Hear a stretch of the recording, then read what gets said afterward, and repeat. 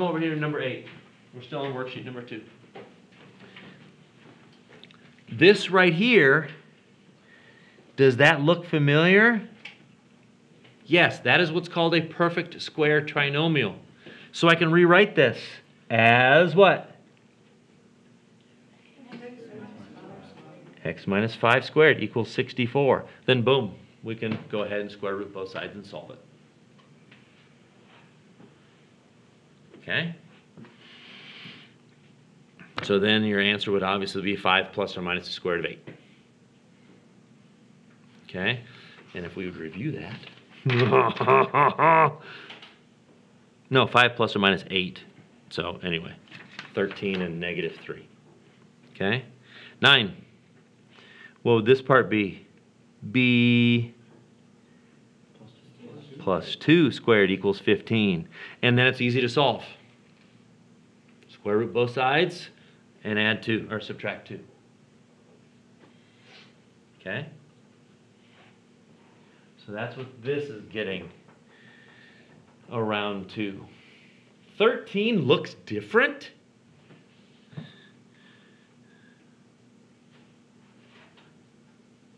But what's half of 3 in a fraction form? Three. Three halves. If I take three halves and square it, I get nine fourths. So, but the bottom line is you take your middle term, divide it by 2, square it. Okay. Here we go. This is where I wanted to be. All that was for this. Okay? 1 through 4, go. Find the constant that makes that a perfect square trinomial.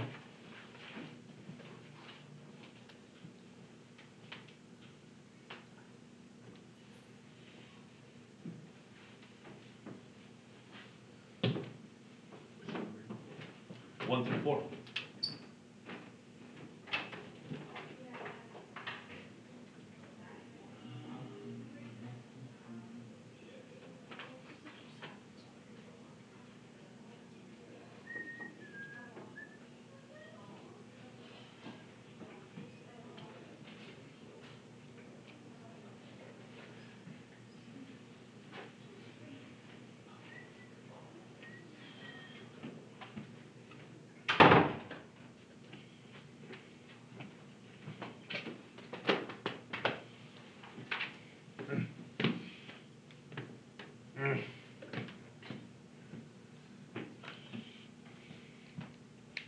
Okay, looks like everybody's kind of real close.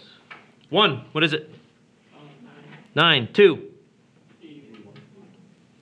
three, four hundred, because half of forty is twenty. Take that, square it, I get four hundred. And then this one, twelve square, what, one forty-four? You should have been able to do that, all that without a calculator. Please, please, please, please. Okay, so now what we're gonna do is we need to get where we can solve by completing the square. So, this, honestly, we don't have near enough room to do on this sheet of paper. So, you're gonna get another sheet of paper. And you're gonna rewrite this. And you're gonna rewrite it in a special way.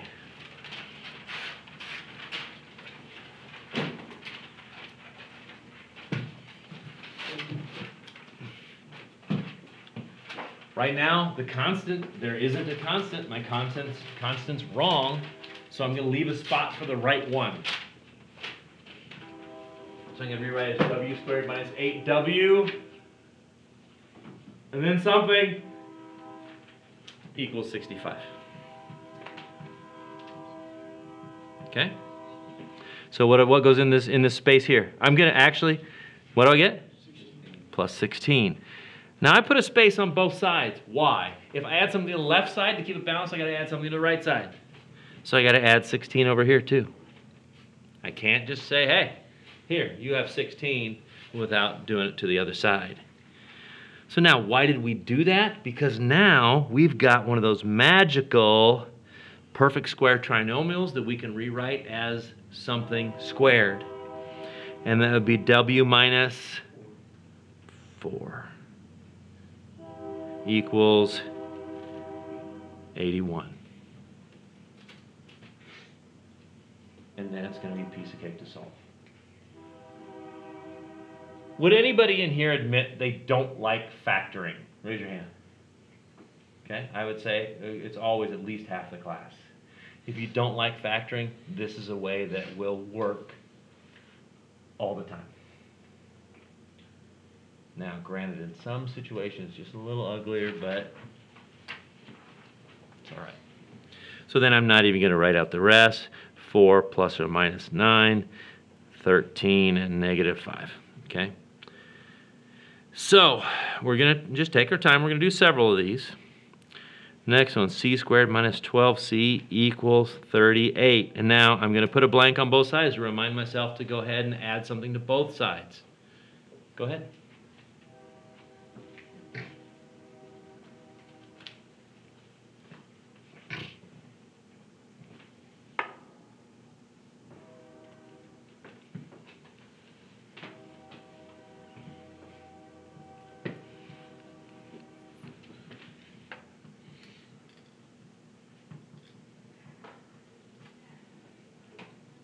10 minutes left.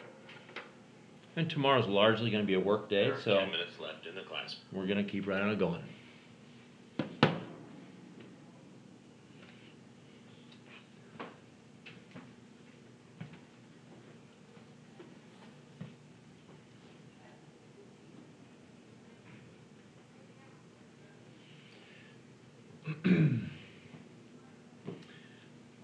Okay, seriously, stop where you're at. I want to give you another thing that might help you. One thing you could do is go ahead and put a blank there too. Because you know we're going to rewrite it as a square. So then you could just do all of this just once. C minus, what's this? 6. 6 squared. 36. 36. So if you want to add that underneath, that'll go ahead and help you with that. And what do we get? 72? 74. Okay? And then the rest of it's easy to solve. 6 plus or minus square root of 74. Which 74, I don't think that reduces down 2 and 37. 37 is prime, no. Okay? So, let's set up this next one that first way. So if you like a little fill in the blank, there's all your blanks. Fill them in. Go. For number six.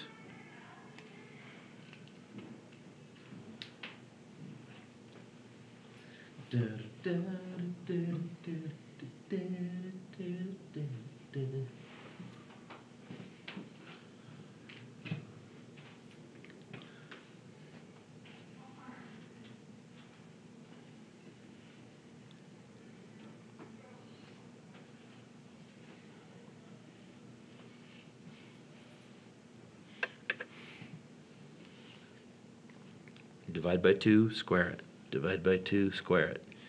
Because the opposite of multiplying it out. Multiplying it out, you had two of them, so you had to add them together, so they doubled. So.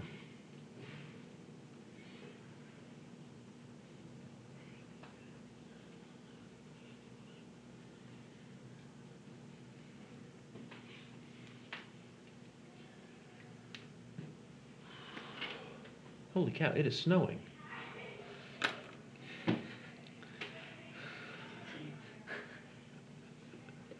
I don't know why, but I've always enjoyed doing that. I probably will till I die. If I had grandchildren, I'd be going, hey, look, it's snowing. Oh, yeah, stupid kid. So here we go. So negative 8, negative 2. So show me where you're at with this. Okay.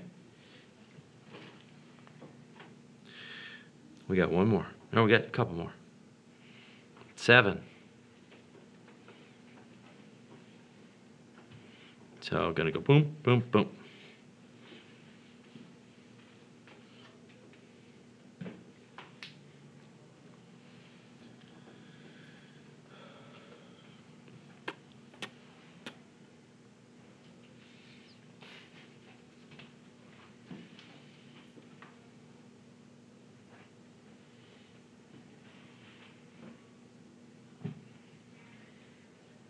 What time were you guys supposed to golf today? Uh, depends, I was supposed to go for nine twenty. I was supposed to tee off at ten thirty. How long does it usually take you to golf? Six hours? Was it Six. at eighteen? Yeah. Okay. You might have been able to squeeze it in. It was raining, when I looked at lunch, it was raining there. Oh, really? Oh, where is it at? Columbus. Oh, okay, okay.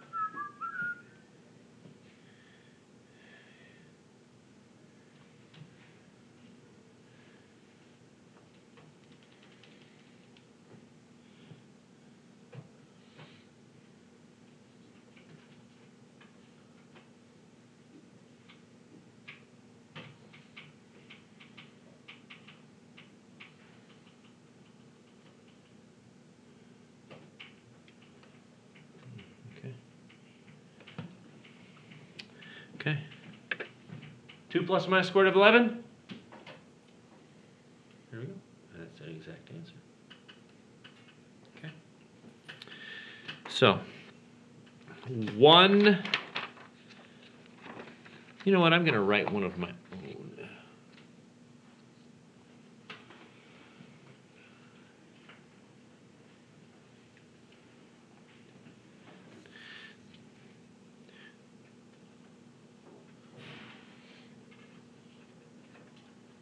Okay, now this one's in a little bit different form because the 10's on the left side.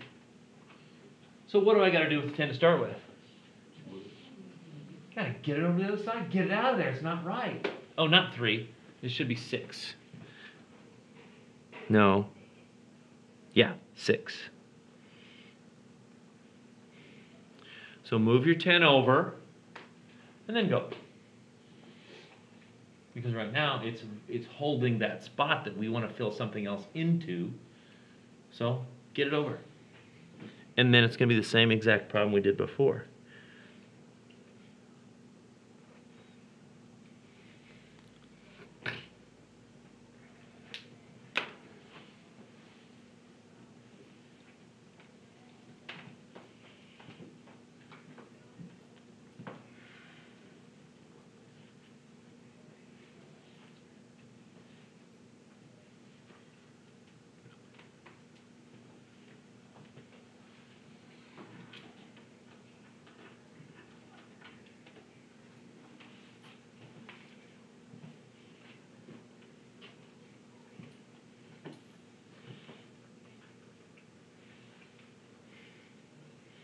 This one might be a little different.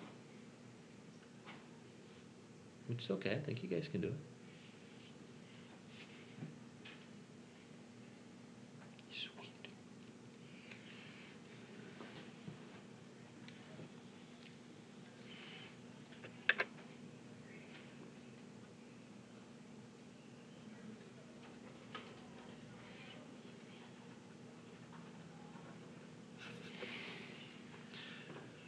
Now, this one's a little tougher. This is checking to see if you remember something I haven't taught you yet. Does anybody want to take a brave swipe at what the answer is? Like the whole thing. Yeah. Um, x equals negative three plus or minus square root of nineteen. Nope. No. Nope. Go, since I picked on you earlier. Go.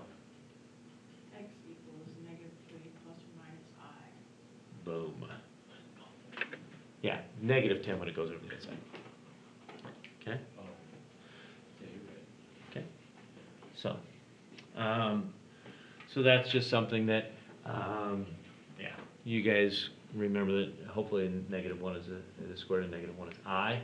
Um, so, for tonight, I know at the very least, we tomorrow are gonna do these.